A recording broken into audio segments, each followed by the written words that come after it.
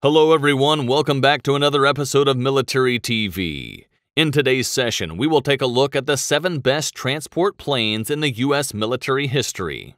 If you are curious on what they are, stay tuned and don't go anywhere.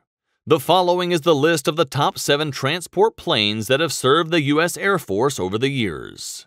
Number 1 C 47 Skytrain. The Douglas C-47 Skytrain or Dakota is a military transport aircraft developed from the civilian Douglas DC-3 airliner. This aircraft was used extensively by the Allies during World War II and remained in frontline service with various military operators for many years. It served in all theaters during World War II and continued in service long afterward. Moreover, this aircraft was used to haul cargo, transport troops, drop paratroops, tow gliders, and as a flying ambulance. Additionally, the C-47 was a pillar of U.S. military airlift during the early stages of the Cold War, figuring large in the 1948 Berlin airlift and in the Korean War from 1950 to 1953. Lastly, the C-47s were used in the Vietnam War as electronic warfare collection aircraft and as AC-47 gunships. Many hundreds remain in civil service today. Number 2. C-119 Flying Boxcar The Fairchild C-119 Flying Boxcar was an American military transport aircraft developed from the World War II-era Fairchild C-82 Packet. This aircraft was designed to carry cargo, personnel, litter patients, and mechanized equipment, and to drop cargo and troops by parachute. The first C-119 made its initial flight in November 1947, and by the time production ceased in 1955, more than 1,100 C-119s had been built. Interestingly, its cargo hauling ability and unusual appearance earned it the nickname Flying Boxcar. Additionally, the AC-119G Shadow gunship variant was fitted with four 6-barrel 7.62mm miniguns, armor plating, flare launchers, and night-capable infrared equipment. Like the AC-130 that would succeed it, the AC-119 would prove to be a potent weapon. The AC-119 was made more deadly by the introduction of the AC-119K Stinger version, which featured the addition of two General Electric M61 Vulcan 20mm cannons, improved avionics, and two underwing-mounted General Electric J85 GE-17 turbojet engines, adding nearly 6,000 pound force of thrust. Number 3. C-124 Globemaster II the Douglas C-124 Globemaster II, which has the nickname Old Shaky, is an American heavy-lift cargo aircraft built by the Douglas Aircraft Company in Long Beach, California. The C-124 was the primary heavy-lift transport for United States Air Force USAF and Military Air Transport Service MATS during the 1950s and early 1960s until the Lockheed C-141 Starlifter entered service. It served in MATS, later Military Airlift Command MAC units of the Air Force Reserve and Air National Guard until it retired in 1974. Additionally, the Douglas C-124 could carry more than 200 troops. It also could load tanks, field guns, bulldozers, and trucks. It had clamshell-type loading doors, built-in double hydraulic ramps, and an elevator under the aft fuselage.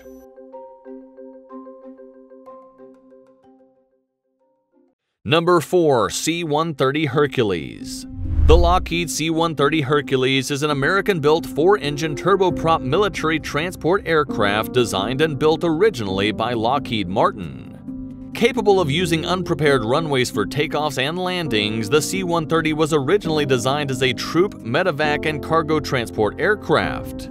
This versatile airframe has found uses in a variety of other roles, including as a gunship, AC-130, airborne assault, search and rescue, scientific research support, weather reconnaissance, aerial refueling, maritime patrol, and aerial firefighting.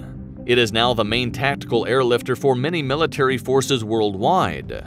More than 40 variants of the Hercules, including civilian versions marketed as the Lockheed L-100, operate in more than 60 nations. Furthermore, the C-130 entered service with the US in 1956, followed by Australia and many other nations. During its years of service, the Hercules family has participated in numerous military, civilian, and humanitarian aid operations. In 2007, the C-130 became the fifth aircraft to mark 50 years of continuous service with its original primary customer, which for the C-130 is the United States Air Force. The C-130 Hercules is the longest continually produced military aircraft at over 60 years, with the updated Lockheed Martin C-130J Super Hercules currently being produced.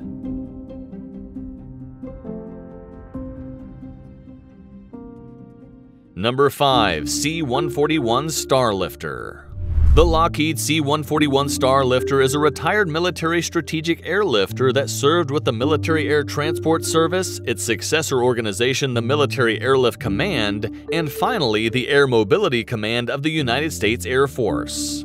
The aircraft also served with airlift and air mobility wings of the U.S. Air Reserve, the Air National Guard, and later, one air mobility wing of the Air Education and Training Command dedicated to C-141, C-5, C-17, and KC-135 training.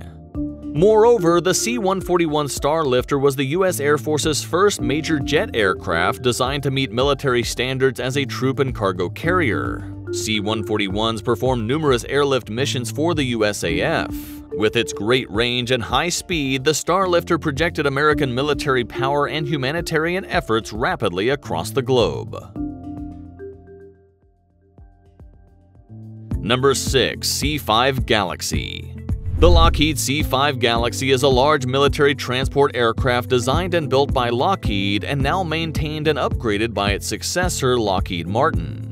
It provides the United States Air Force with a heavy intercontinental range strategic airlift capability, one that can carry outsized and oversized loads, including all air certifiable cargo. The Galaxy has many similarities to the smaller Lockheed C-141 Starlifter and the later Boeing C-17 Globemaster III. The C-5 is among the largest military aircraft in the world. In addition, the C-5 Galaxy's development was complicated, including significant cost overruns, and Lockheed suffered significant financial difficulties. Shortly after entering service, cracks in the wings of many aircraft were discovered and the C-5 fleet was restricted in capability until corrective work was completed. The C5M Super Galaxy is an upgraded version with new engines and modernized avionics designed to extend its service life beyond 2040.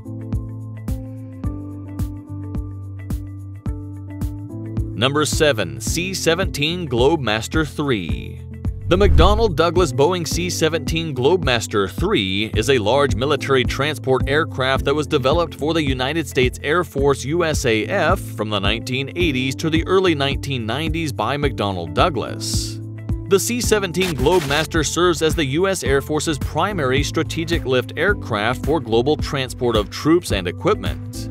This aircraft is also capable of rapid strategic delivery of troops and all types of cargo to main operating bases or directly to forward bases in the deployment area. The aircraft can perform tactical airlift and airdrop missions and can transport litters of ambulatory patients during aeromedical evacuations when required. The inherent flexibility and performance of the C-17 Force improved the ability of the total airlift system to fulfill the worldwide air mobility requirements of the United States.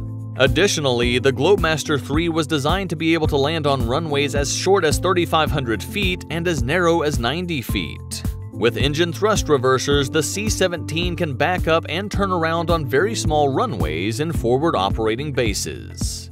If you find this video interesting, do not forget to like, share, comment, and the most important one is to click the subscribe button for more updates on awesome videos. That's all for today, thanks for watching and see you next time.